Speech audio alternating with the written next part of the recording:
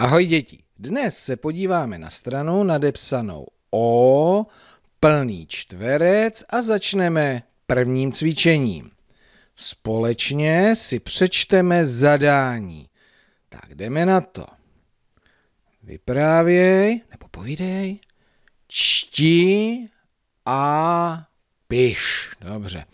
Tak nejdřív tady máme piktogram, povídat, vyprávět. Tak to si můžeme vyprávat tady o tom obrázku. Co tady vidíme? Vidíme tady tři školačky, mají jména.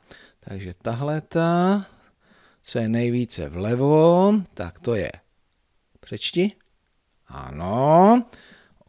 Ála uprostřed stojí. Emma a vpravo je Ola, výborně. Tak a vy můžete si ještě víc povídat o tom obrázku, ale máme tady něco na čtení. A na čtení tady jsou ty věty. Tak si je společně přečteme. Vemte si záložku nebo bílou pastelku a podložte první řádek, anebo si ukažte na začátek prvního řádku a společně čteme. Jdeme na to. Emma má modrou čepici a žlutý deštník. Tak podívám se na Emu, to je ta uprostřed, modrá čepice, žlutý deštník. Bezva. Tak jedeme dál. Druhý řádek. Ála má zelenou čepici a modrý deštník. Tak Ála je tady. Mhm. Zelená čepice, dobře. A třetí věta, zase posuňte záložku a ukazujeme si. Ola má červený deštník a e, růžový šátek. Tak Ola, jo, tady drží v ruce a to má kolem krku. Bezva. Takže jsme si vypravovali chviličku, přečetli a nyní budete psát. Tak, co budete psát? Mhm, správně. Jak se tady jmenují tyto dívky?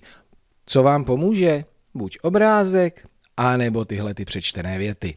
Prosím, přerušte si video, doplňte, dopište a potom se vraťte, společně si to ještě zkontrolujeme.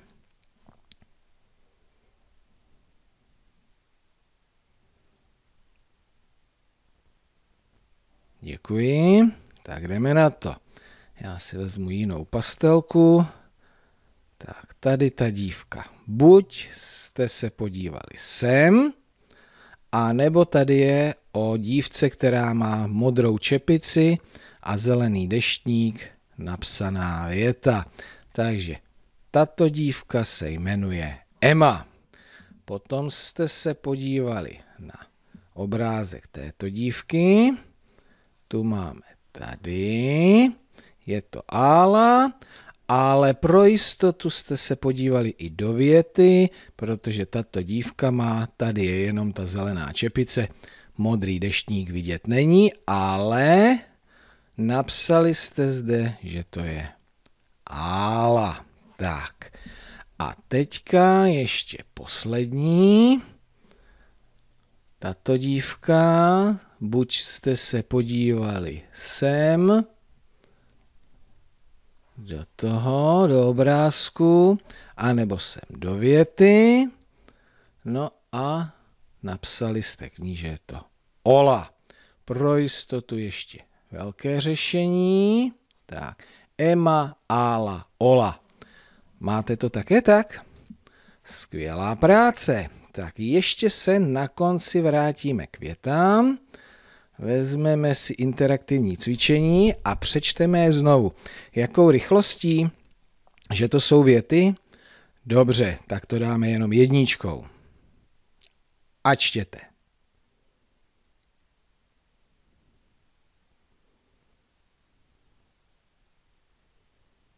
Výborně, další.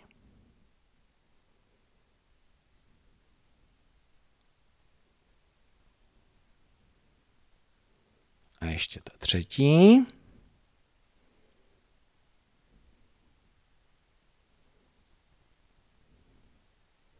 Slyšel jsem, jak čtete. Emma má modrou čepici a žlutý deštník. Ála má zelenou čepici a modrý deštník. Ola má červený deštník a růžový šátek.